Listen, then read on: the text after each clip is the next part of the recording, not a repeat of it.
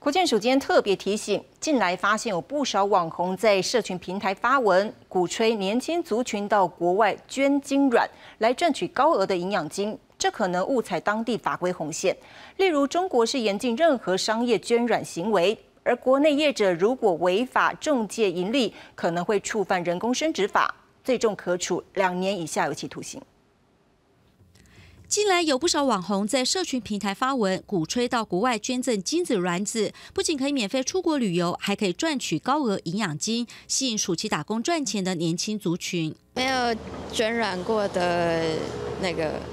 资讯，感觉要先做好功课再过去，可能会想说了解一下，但还是会评估啦，还是会评估状况。医师表示，女性捐卵并非和捐血一样轻松容易，因为捐卵过程可能产生卵巢过度反应症候群，会有腹水及呼吸困难等现象，严重的话还可能致命。严重的哦，卵巢过度反应症候群，那这种甚至需要住院啊、抽血啦，而且有可能会危及你的生命。如果说你是处理的不好的话，哈。国建署也警告，到国外捐精卵风险很高。中国是禁止以任何形式进行捐卵行为，即使是美国，如果持观光签证却从事医疗行为，也是违法的。而国内业者如果违法中介盈利，最重可处一百万元罚金。如果真的有从事盈利跟中介的生殖细胞的行为，然后那依照这个人工生殖法的规定，哦，是可以处两年有下以下有期徒刑。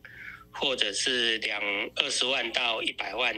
的罚金。根据国内人工生殖法规定，捐精卵有年龄限制，男性二十到五十岁，女性二十到四十岁，必须经过人工生殖机构检查评估。虽然捐精卵非属于商业行为，但捐赠者可以领取营养金，捐精最高可以获得八千元，捐卵则是最高九点九万元。建议民众捐精卵之前，应先与医师充分沟通，了解相关风险。记者赖淑敏、庄志成台报道。